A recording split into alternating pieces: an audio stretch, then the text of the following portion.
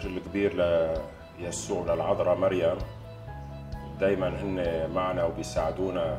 نتشكر الشعب البولوني بصراحة خاصة بهالأيام اللي نحن أنا اللي بشوفها أصعب لحتى من أيام الحرب من الناحية الاقتصادية والحاجيات والفقر اللي صار عنا.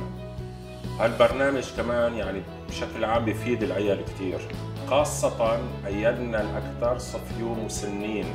بيا نحن وضع الطبي كثير صعب عنا. الأدوية على أصعب.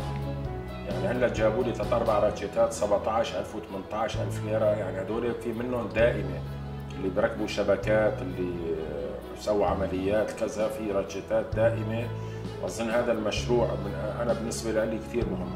الأدوية والعمليات.